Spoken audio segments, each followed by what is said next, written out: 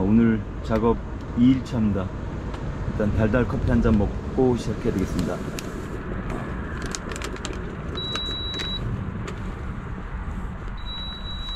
어, 배터리 200A 인산철 두 개인데 어, 계속 전기를 쓰고 있는데도 어, 얘는 아직 86% 남아있고 어, 한 충전 없이도 한, 한 뭐 완전 방전될 때까지 쓰면 인산철 배터리 안 좋으니까 그래도 한 일주일은 뭐 너끈히 두 개 가지고 220V를 다 쓸 수 있을 것 같습니다.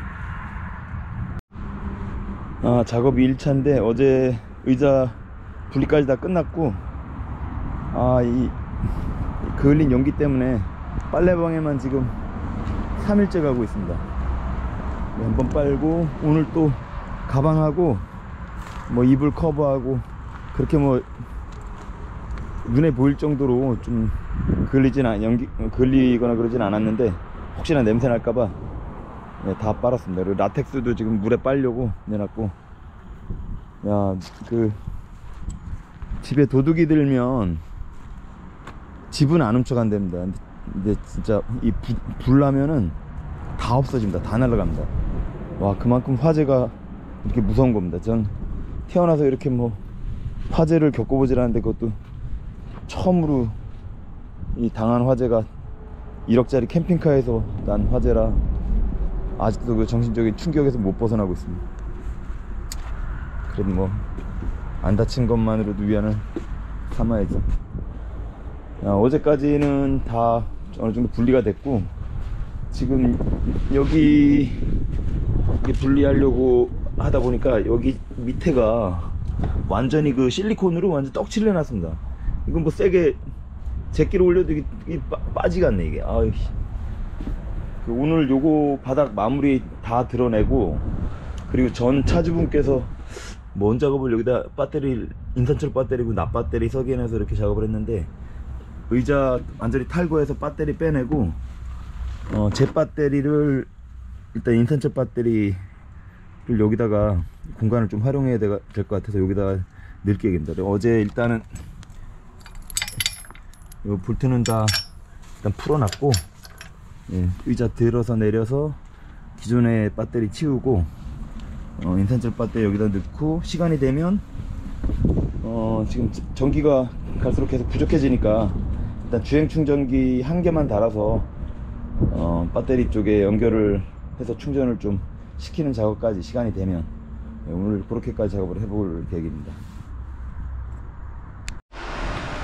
아, 의, 앞에 의자를 탈거했고 아, 전에 쓰시던 분이 의자 밑에다 배터리 이거 뭐 인산철 배터리가 아니라 납 배터리 같은데 이 세 개를 연결하셔가지고 안에서 뭐 냉장고라 써 있는 거 보니까 냉장고도 쓰시고 뭐 이렇게 활용을 하신 것 같은데 아 지금 다른 건 문제가 안 되는데 무시동 히터를 앞에서 조작이 안 되고 뒤에서 지금 조작이 되게 해놨습니다. 그래서 어 지금 케이블이 너무 복잡해서 일단 다 불필요한 거는 다 잘라내고 어, 여기 밑에서 오는 이 세 가닥 케이블이 지금 히터 쪽으로 가는 건데 아마 제가 여기 이렇게 지금 연결해 놓은 게 요게 지금 스위치를 켠 상태입니다 그러니까 전기가 흐르게 이렇게 하니까 지금 뒤에 히터가 작동이 되는데 세 가닥 중에 두 가닥은 어, 스위치로 나중에 연결하면 될 것 같고 요 한 가닥은 어, 플러스 단자 쪽으로 이렇게 연결하면 될 것 같습니다. 지금 시동을 안 켰는데도 이게 에바 스페커 지금 불이 들어와 있고 저 뒤쪽에도 히터가 엄청 빵빵하게 잘 나옵니다. 이 음. 오, 으아, 어, 뜨거운 바람이 엄청 잘 나옵니다. 일단 전에 계신 분이 캠핑하다 아이 차 가지고 어디 캠핑장 가셨을 때 저 앞에까지 이렇게 팔 뻗어서 끄기가 귀찮으니까 이 선을 뒤로 이렇게 빼놓으신 것 같아요. 여기 스위치가 하나 달려 여기 스위치가 하나 달렸었는데 여기 1m 가기 귀찮으셔서 여기다가 선을 빼놓으셨네. 일단은 요 배터리 다 제거하고 인산철 배터리 제 거로 사이즈 맞춰서 어, 넣는 작업을 하겠습니다. 아 힘들어 커피 한 잔 먹고 해야 되겠어.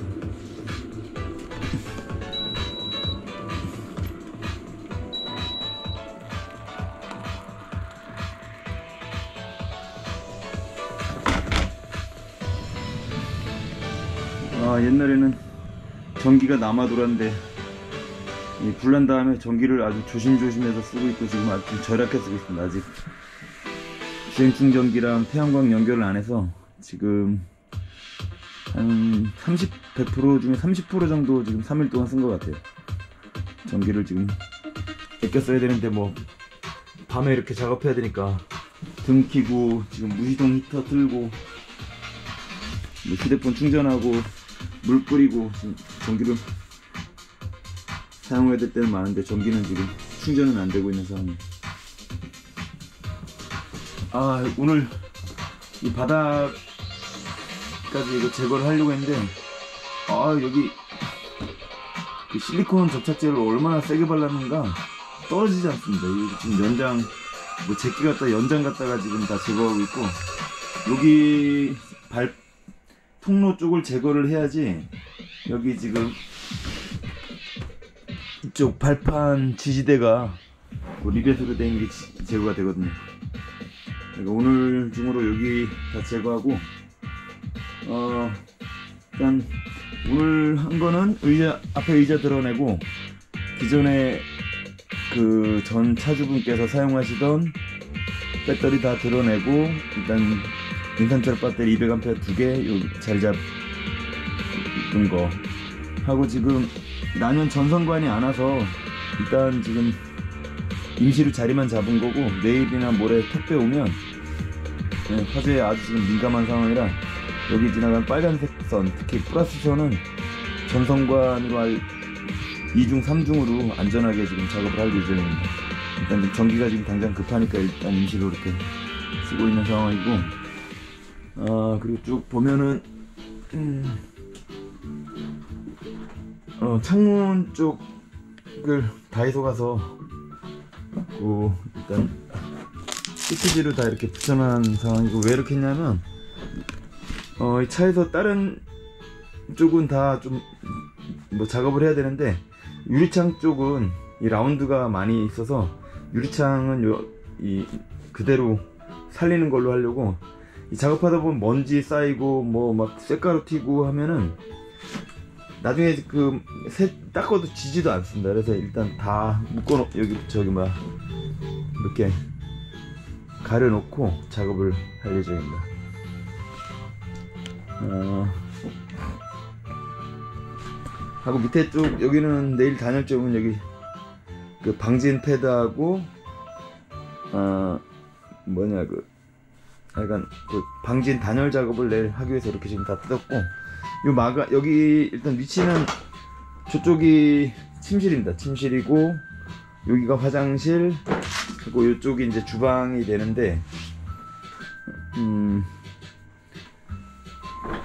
옛날에 르노 화물차에서는 이런 지지대가 없었는데 이게 지금 버스에 의자 지지하는 데거든요. 그래서 요게 침대 만들 때는 요 좀 튼튼하니까 요 지지대를 그냥 쓰고 여기부터 저 앞에까지는 사실 그 버스에서 의자 지지하는 역할만 했거든요. 저는 근데 여기 화, 장실 놔야 되고 저 뒤쪽은 배터리함 그리고 전기장치 그리고 의, 여기 이제 앉을 수 있어 이제 그렇게 놔야 되기 때문에 내일 여기부터는 저 끝까지는 다 그라인더로 갈아서 제거를 한번 해보도록 하겠습니다.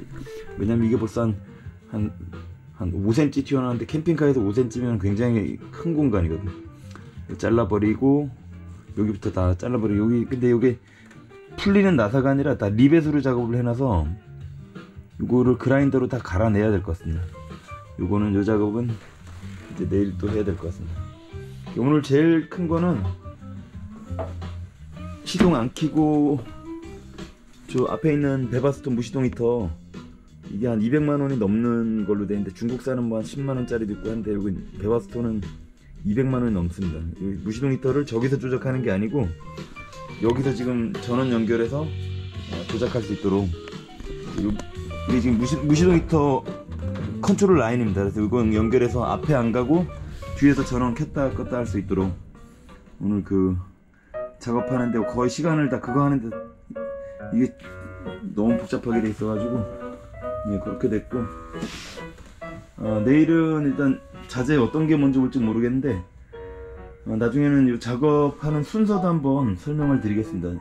제가 이제 세 번째 만들다 보니까 시행착오도 많이 겪었고 어, 일단 내일은 아마 요거 바닥 드러내는 것까지 다 끝내고 시- 이제 바닥 그 단열 공사부터 방진 패드하고 방진 작업하고 그 소, 어, 단열 작업까지 내일 한번 하도록 하겠습니다. 예, 오늘은 여기까지입니다. 저도 한 시간이 지금 11시 정도 돼가는데 한두 시간만 더 하고 이제 들어가 쉬어야 되겠습니다. 다음 영상에서 뵙겠습니다. 일어났는데 이 중 첫 번째는 북베트남이 먼저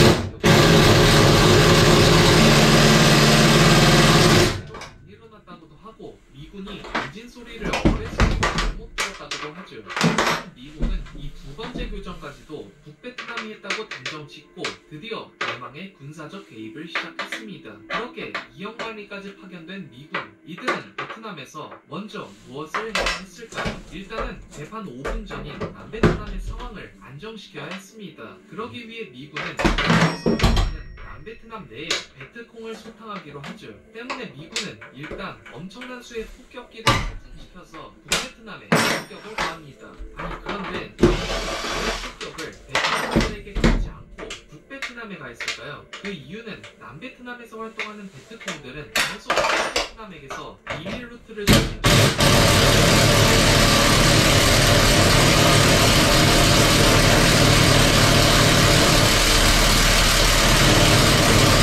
각종 군수시설에 3년간 100만 톤에 달하는 엄청난 양의 폭탄을 투하했습니다. 하지만 의외로 폭격의 성과는 미미했죠. 왜냐하면 북베트남은 이에 맞서서 군수시설을 전국에 분산시켰고 땅굴을 파고 숨어서 피해를 최소화했기 때문이었습니다. 음, 전국에 분산시키면 그만이야? 어디 계속 때려봐라? 이러니까 파지죠. 아니 3년이나 때렸는데 별 효과가 없었습니다.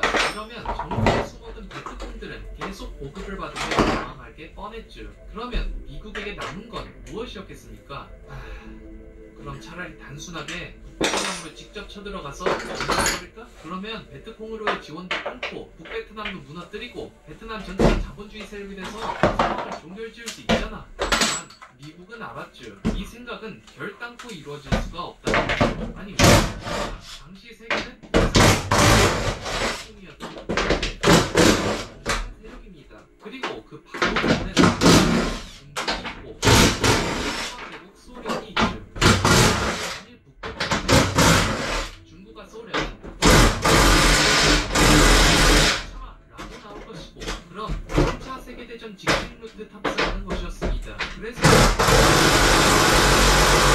꼭 북베트남에는 성과가 안 나더라도 폭격만을 내리고 정부로 들어가서 베트 군사들을 색출하는 작전을 수행하기로 합니다. 제한 걸어놓고 하는 전쟁이 너무 시죠 이에 따라